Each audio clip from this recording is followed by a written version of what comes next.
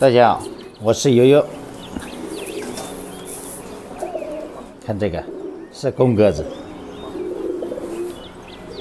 我们主要的是来看它这个小母鸽产起了两个蛋，证明这这两对鸽子拿过来还是靠谱的。你会不会孵蛋哦？暖的，看我来，刚才有个蛋在外面。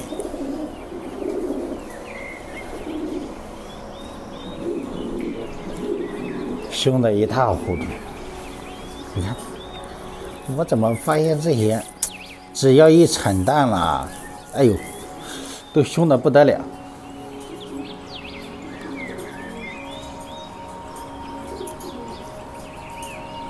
铁牛是漂亮，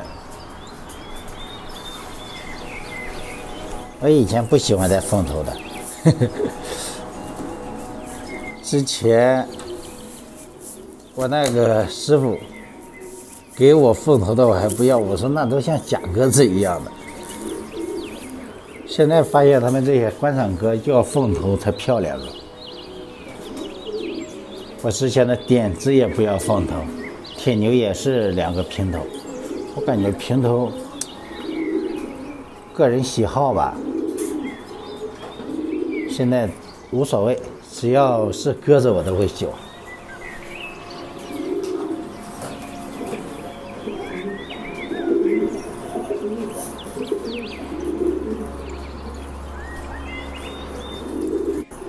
这个就是让它也孵几天，看一下有没有受精就行了。还是拍拍它的眼睛，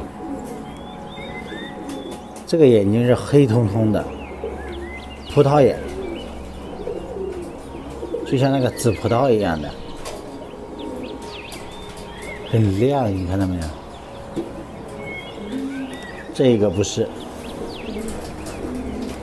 这个就是典型的。满天星眼杀，有不了解铁牛的歌友想了解它，你可以到我的文章里面去看，有一个文章是专门写铁牛的，就是讲的它有两种眼杀。我是个人很喜欢这种鸽子，特别的小。我在扬州这边养的第一对鸽子就是铁牛。最早的时候是不怎么喜欢信鸽的，我都是喜欢这些观赏鸽。